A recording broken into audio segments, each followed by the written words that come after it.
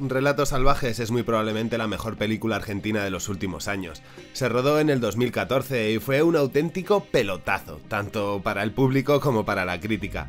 En Argentina se convirtió en la cinta más taquillera de su historia y recibió allí casi 4 millones de espectadores.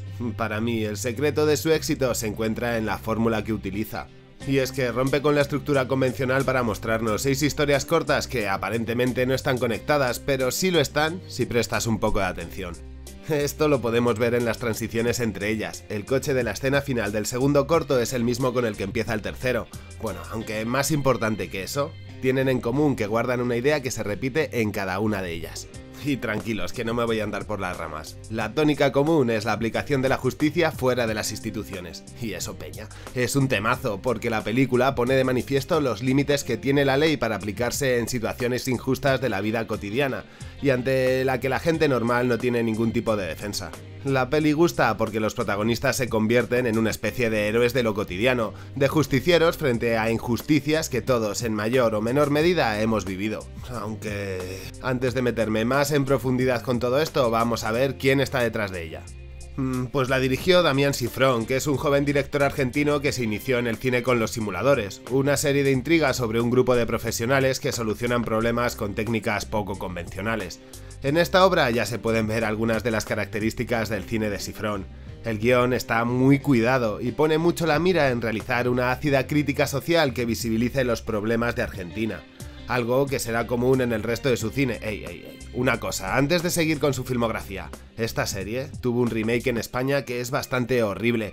De hecho, pese a usar el mismo actor protagonista en ambas, no trabaja ni parecido. Si queréis ver la importancia que tiene una buena dirección de actores, solo ponte un capítulo de cada país. Y además, para rematar esta faena, después del remake español hicieron otro mexicano.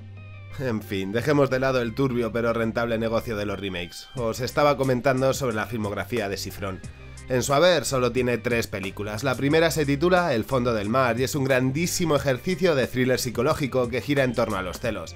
La vi para conocer más del estilo de este director y os la recomiendo de corazón.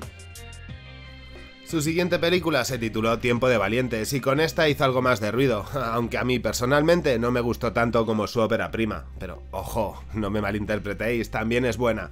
En esta ocasión estamos frente a una body feel bastante típica, pero muy bien ejecutada. Su historia gira en torno a dos personas que no se conocen pero que acaban trabajando juntos patrullando las calles. A priori no tienen nada en común, pero aprenderán a superar sus diferencias y forjarán una gran amistad mientras resuelven un importante caso policial. Con dosis de acción, de humor y todo eso que funciona a las mil maravillas, mm, esta cinta te entretiene. Su tercera cinta es de la que nos vamos a encargar aquí en más profundidad. Para hacerla contó con el trabajo de los actores más importantes de toda Argentina. Y no es lo único destacable, porque se nota que al guion le dieron muchas vueltas. Esto último os lo digo para poner sobre la mesa que es una película plagada de detalles, símbolos y dobles juegos, y no deja nada sin atar. En los propios créditos ya vemos este simbolismo. Mirad, cada trabajo está representado con un animal con el que tiene conexión, así cuando presentan a los productores, entre los que se encuentra el Modóvar y que son los que ponen la pasta, muestra unos leones. Ya sabéis, los reyes de esta película son los que la pagan. Para el vestuario y la dirección artística no aparece el animal, sino solo su pelaje, algo que también es bastante característico. Y para concluir, y no creo que sea algo casual, para el director utilizan un zorro, que es un animal escurridizo, rápido y conocido por su inteligencia y por estar siempre atento. Además, todos los que aparecen son animales salvajes y no domesticables. Mm, lo de identificar al director con este animalillo es un detalle para que sepamos lo que se nos viene por delante. Una película con quiebros, ágil y al igual que pasa con el zorro es difícil de capturar y más la primera vez que lo es. Mirad, os voy a enseñar un guiño que me parece fundamental para poder llegar a entender en profundidad toda esta obra. Si os fijáis bien en la escena final de la primera historia, justo antes de pasar a créditos, os daréis cuenta de que en el periódico aparece un titular donde se menciona a Freud. Hmm, y no creo que haga falta decirlo, pero si andas un poco verde en psicología, recuerda que este es el padre del psicoanálisis. Y creo que esto es un detalle importante porque uno de los pilares sobre los que se sostiene esta película es la teoría de la personalidad, que se caracteriza por separar la mente en tres estados. Mirad, os cuento. Por un lado tenemos el ello, que es la parte primitiva e innata dentro de la personalidad. Su único propósito es satisfacer sus impulsos más salvajes. En contraposición a este está el super yo, que hablando mal y dándole una buena patada a la psicología es algo así como el cura que llevamos dentro. Vamos, que representa los pensamientos morales y éticos. Y bueno, también es el que te ayuda a agachar la cabeza en las injusticias. Entre media de ellas se encuentra el yo, que actúa como un intermediario entre ambos y representa una forma de enfrentarnos a la realidad. Pues teniendo en cuenta esto y rescatando unas declaraciones que realizó el director donde decía que esta película va sobre gente que pierde el control y se entrega al lado más primitivo y que aparte busca reflexionar sobre el abuso del poder y el deseo de rebelarse ante la injusticia, pues nos damos cuenta de que esta película rinde un grandísimo homenaje a Leyo, pero escuchad, porque no se limita a poner ejemplos aleatorios donde a la gente se le va de las manos. Existe una intencionalidad de crítica social, ya que profundiza en muchos de los grandes conflictos a los que se enfrenta el individuo moderno. Teniendo esta idea como base, la primera historia gira en torno a los conflictos que se generan en tu entorno social.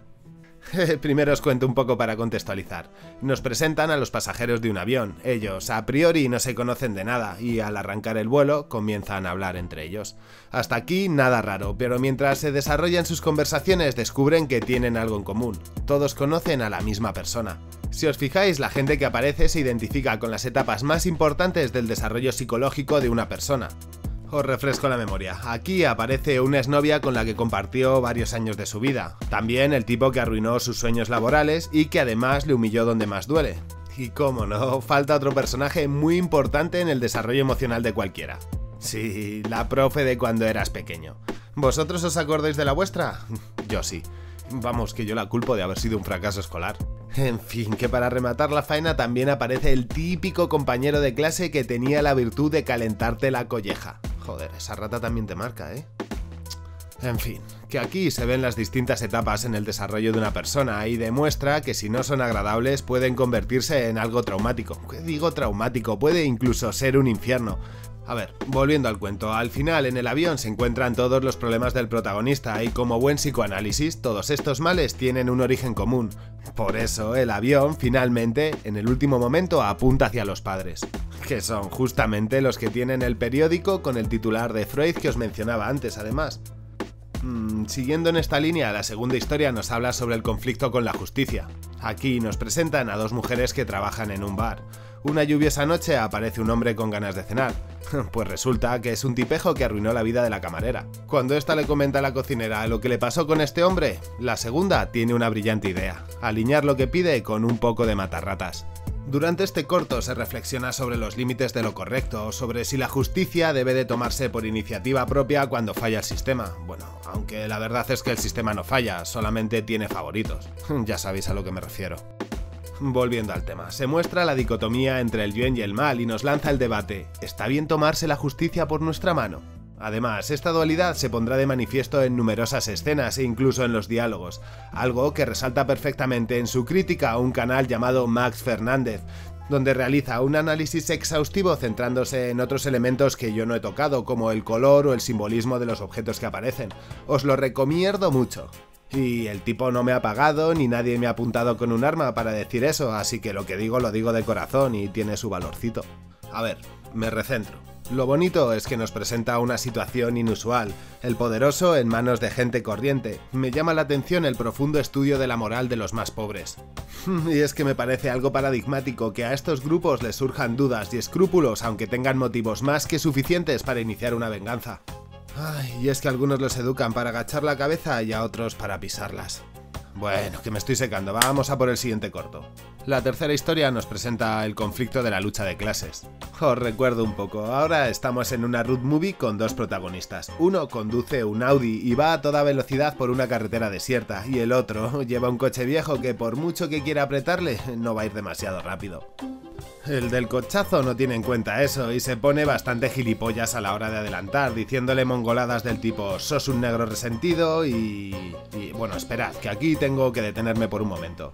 En varios vídeos os hablé sobre la censura en los diálogos, pues mirad, parece que esta frase en los Estados Unidos suena racista, pero no lo es decir eres una espalda mojada resentida, haciendo alusión a los inmigrantes ilegales mexicanos en los estates. Reformulada así, esta crema. Y aquí me ahorro el chascarrillo, Peña. Volviendo a la historia. Después de que el del Audi adelante tiene un pinchazo, así que detiene el vehículo y tiempo después aparecerá el otro carro, que verá ahora el momento de tomarse la justicia por su mano y devolverle la falta de respeto. Así se inicia una escalada de hostilidades. Lo que más me voló la cabeza de este corto es su final, que nos deja una moraleja muy reflexiva. El enfrentamiento solo lleva a la destrucción total. Si no colaboramos y nos dedicamos a putearnos, al final nadie gana. Tal vez la historia que más recuerda a la gente es la que os voy a comentar ahora, y creo que gustó tanto porque pone sobre la mesa el conflicto contra el Estado y las instituciones públicas. ¿O acaso alguno de los aquí presentes no ha sentido la impotencia de no poder solucionar un problema con la administración pública? Mm, os cuento, Bombita es un artillero civil que se dedica a los explosivos. Un mal día, la grúa se lleva su coche y eso va a desencadenar una serie de circunstancias que arruinan su vida. Mientras todo esto se va desmoronando, la grúa vuelve a llevarse el coche. Así que resignado, va a la oficina de turno para solucionar lo que él considera un error. Por desgracia, se da de frente contra la cruda realidad. Para el Estado eres el número de tu DNI y le vale madre el resto. Aquí se muestra la falta de comunicación. A los funcionarios les da igual lo que les cuentes, no eres una persona con problemas. Solo les interesa que los formularios estén correctamente rellenados. Pero vamos, que peor que eso es su prepotencia, que jamás reconocerá un error y menos si no es grave y se limita solo al ámbito administrativo. En definitiva, este corto trata sobre la presión a la que el Estado somete a sus ciudadanos, y ya sabéis lo que pasa con las ollas a presión. La quinta historia nos habla del conflicto del individuo con el capitalismo y se hace las preguntas siguientes. ¿Todo se puede comprar y vender? ¿Cuánto es el precio de la libertad? Y el de la justicia. Aquí nos presentan la historia de alguien que atropella a una familia y se da la fuga. Para topar ese marrón deciden implicar al criado de la casa. De esta parte quisiera destacaros la metáfora a través de la ropa que tiene uno de los protagonistas. Viste de blanco mientras se muestra como el salvador de la familia y está dialogante, y se pone de negro cuando se cierra en banda y deja de pensar en los suyos porque eso le rasca demasiado el bolsillo. Vamos, que es un poco el color de su alma. Y ya llegamos al final. La última historia es la de la boda. Aquí se muestra el conflicto con el amor romántico. Nos habla sobre su toxicidad y de que está infectado por la familia, por los celos y por las infidelidades. Por no mencionar que es una institución caducada en los tiempos que corren y si no echad un ojo a la cantidad de divorcios que hay. Como acabáis de ver, esta cinta retrata muchos de los conflictos más importantes a los que se enfrenta un ciudadano del siglo XXI. Destaca los problemas con el entorno social, con quien maneja la ley, entre clases sociales, contra el Estado, contra la mercantilización de todo lo que está en nuestro alrededor y contra el modelo de familia convencional. Todos los días y en todos los discursos de los medios nos dicen que tengamos control, que seamos pacientes y que pongamos la otra mejilla. Además, se condena cualquier discurso que proponga reacción. Por ejemplo, en cualquier protesta rápidamente se tacha a los manifestantes de violento para desprestigiar su lucha. Yo pienso que esta película se hizo tan famosa y gustó tanto porque hace un alegato sincero a la justicia social, a enfrentarse a esas injusticias. Lo que propone es dejar de ser paciente y que tomemos las riendas ante tanta injusticia que nos tiene alienados. En fin, que vivimos oprimidos y adoctrinados y cualquier cosa, aunque sea desde la ficción que rompa con eso, nos atrae. Por eso fueron 4 millones de personas a verla al cine en Argentina, porque cada día estamos más cansados. Soy el Feo, estás en la Filmoteca Maldita y faltan menos de 15 días para el Festival de Cortos. Quiero saludar a JL Álvarez y a Dante y mandar un abrazo al resto de Patreons. Y nada, en par de semanas damos otro paso de gigante para que el cine sea nuestro.